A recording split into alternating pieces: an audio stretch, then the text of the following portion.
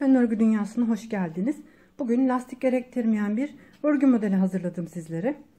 3 numaralı şiş ile örüyorum. Modelim 4 ilmekle yapılıyor.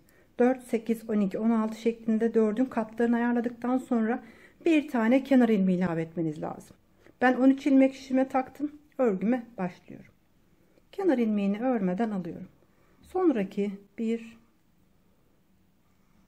2 3 ilmeği ters örüyorum. Şu anda örgümün arka yüzündeyim. Bir ilmek düz olarak örüyorum. Sonraki 3 ilmeği tekrar ters olarak örüyorum. Bir ilmek düz olarak 3 ilmek ters olarak arka yüzden modelimizin kurulumuna başlıyoruz. Şimdi örgümün ikinci sırasındayım. Ön yüzdeyim. Kenar ilmeğini aldım. Burada 3 tane düz ilmeğim var.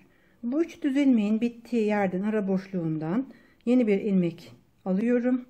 Bir kez ipimi şişime doluyorum ve bu 3 ilmeği birlikte düz örerek kesiyorum. 3 ilmekten tekrar yeni 3 ilmek çıkarttığım için sayıda herhangi bir değişiklik olmuyor. Ters ilmeği aynen örüyorum. Üçüncü düz ilmeğin ara boşluğundan yeni bir ilmek çıkartıyorum bir kez ipimi şişime doluyorum ve bu üç ilmeği birlikte düz örerek kesiyorum ve bırakıyorum. Aradaki ilmeğimi ters örüyorum.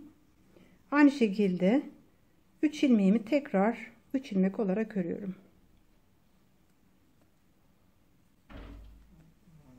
Kenar ilmeği ile ön yüzden ikinci sıramı tamamladım.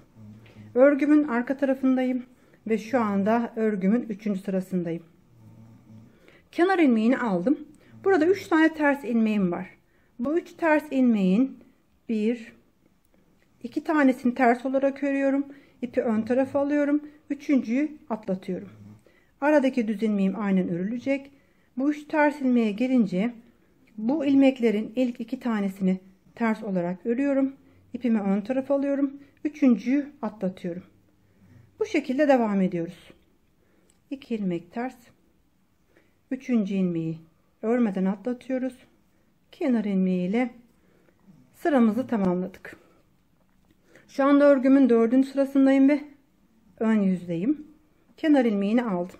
Burada örmeden atlattığımız örgünün başındaki ilmeğimiz var. Bunu tekrar örmeden atlatıyoruz. Arkasındaki kalan iki ilmeği düz olarak örüyoruz. Aradaki ters ilmeği aynen örüyorum. Burada uzunca çıkan ilmeğimiz baştaki ilmeğimizi atlatıyoruz. Sonraki iki ilmeği düz örüyoruz. Ters ilmeği örerek aynı şekilde ön yüzden örgümüze devam ediyoruz. Şimdi örgümün arka yüzüne geçtiğim zaman ilk başlangıçtaki işlemleri burada tekrarlıyorum. Kenar ilmeğini alıyorum. Sonraki 3 ilmeğimi ters olarak örüyorum. Bir ilmek düz olarak örüyorum ve tekrar 3 ilmek ters şeklinde arka yüzden ilmeklerimi hiç atlamadan hepsini örerek böylece tamamlamış oluyorum. Tekrar örgümün ön yüzüne geçtiğim zaman kenar ilmeğini alıyorum. Burada 3 tane düz ilmeğim var. Bu 3 düz ilmeğin ara boşluğundan bir ilmek çıkartıyorum. Bir kez ipimi şişime doluyorum ve 3 ilmeğin hepsini bir defada düz örerek topluyorum. Ve tekrar yeni bir 3 ilmek elde etmiş oluyorum. Aradaki ters ilmeğimi aynen örüyorum. Sonraki 3 ilmeğimi de modelimi uygulayarak örmeye devam ediyorum. Örgümün arka tarafına geçtiğim zaman kenar ilmeğini örmeden alıyorum. Bu 3 tane olan ters ilmeğimin ilk iki tanesini ters olarak örüyorum. Üçüncü ilmeğe gelince bu ilmeği örmeden atlatıyorum. Aradaki düz ilmek bitene kadar aynen devam edecek. Sadece ters ilmeklere gelince iki ilmeği ters örüyoruz. Üçüncüyü atlatıyoruz. Bu şekilde arka yüzden örgümüzü tamamlamış oluyoruz. Tekrar örgümüzün ön yüzüne geçtiğimiz zaman kenar ilmeğini alıyoruz. Burada uzunca gelen ilk baştaki ilmeği örmeden atlatıyoruz.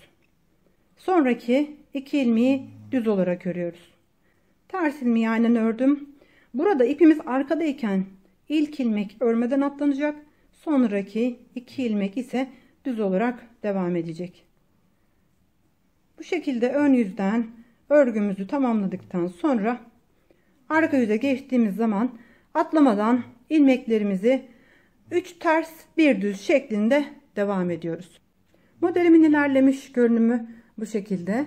Lastik istemeyen, hiç lastik kullanmadan başladığım bir örnek.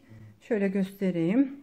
Aralarda ters olduğu için hafif toparlayan bir yapıya sahip. Biraz kabartmalı bir görünümü var bu yüzden. Burası da örgümün arka tarafı. Yapmayı düşünen herkese kolay gelsin.